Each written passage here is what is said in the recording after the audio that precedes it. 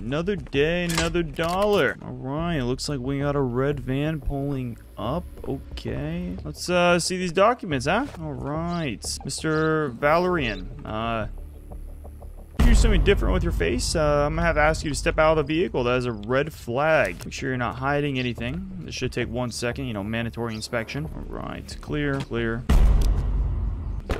Looks like it's clear. Check your cargo. It shouldn't take one second.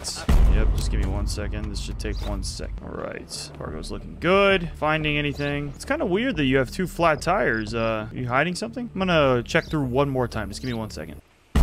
Cigarettes. One pack. Look, buddy, what is this? You know this is highly illegal, alright? Look, it's only one pack, so if I don't find anything else, I'm gonna let you go, okay? Take the back. Is this an AK-47? It's the exact one we were looking for. Oh, you're done, pal. Hands behind your back. Not today, okay? We've been looking for you. Just another day.